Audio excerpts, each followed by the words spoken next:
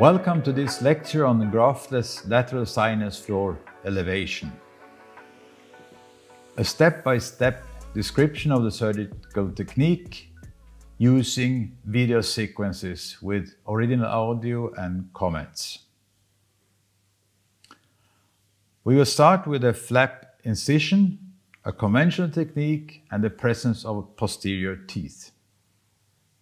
And here we can check the position of the implants in relation to the teeth, opposing teeth in the mandible. And as you can see, we have never any concern or any instruments in this prepared sinus cavity because we have removed the membrane away from the area where we prepare for the implants, so we don't really need to have any concern about that.